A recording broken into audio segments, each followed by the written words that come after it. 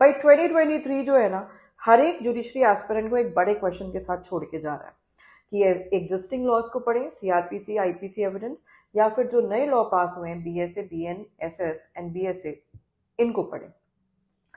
आप law student हैं, आप एक बात बताइए नो मैटर दोनों हाउसेस ने उस एक्ट बिल को पास करके एक्ट बना दिया प्रेसिडेंट ने भी असेंट दे दी है, लेकिन क्या आज की डेट में आप उन एक्ट से गवर्न हो रहे हो? नहीं। क्योंकि इन्फोर्सेबिलिटी अभी भी नहीं आई है। अब पॉइंट ये होता है कि इन्फोर्सेबिलिटी कितने टाइम में आएगी? देखिए, रातों रात तो इन्फोर्सेबिलिटी नहीं आ जाएगी। हमने मेजर लॉज को चेंज किया दैट इज़ क्रिमिनल लॉज को।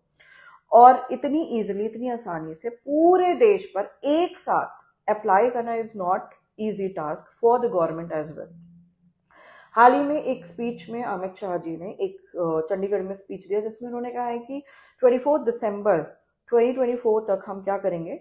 यूटीज पर इन एक्ट्स को अप्लाई करेंगे। या क्योंकि यूटीज जो होती हैं यूनियन टेरिटरीज वो सेंट्रल के अंदर आती हैं और जो बाकी हैं एरियाज़ हैं दैट वो स्टेट है, वो स्टेट गवर्नमेंट के पास भी आते हैं।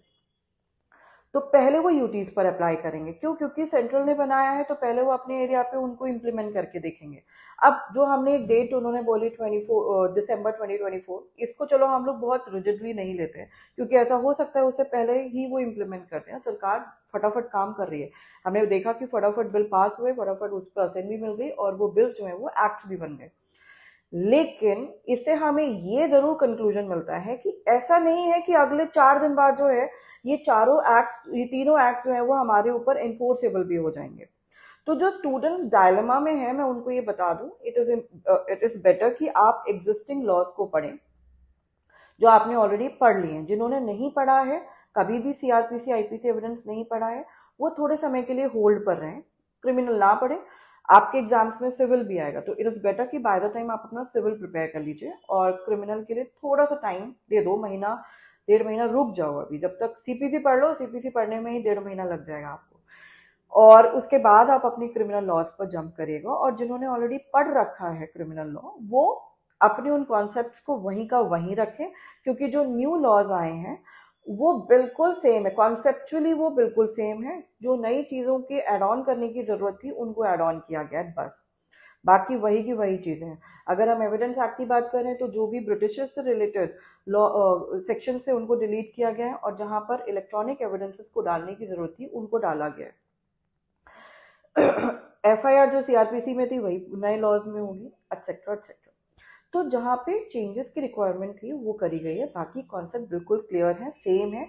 हाँ सेक्शन नंबर को मगअप ज़रूर करना पड़ेगा। एक दोबारा से मेहनत सिर्फ़ स्टूडेंट्स को ही नहीं, बल्कि एडवोकेट्स को भी जजेस को भी, सभी को करनी पड़ेगी। तो इसमें इतना टेंशन लेने की ज़रूरत नहीं है। तो इन कंक्लूजन एफ़ आई से कि आप एग्जिस्टिंग लॉज को ही पढ़िए और जो न्यू लॉज हैं, उन्हें हमें शैलो रीडिंग अभी देना पड़ेगा नो मैटर वो इन्फोर्स हुए हैं या नहीं हुए हैं।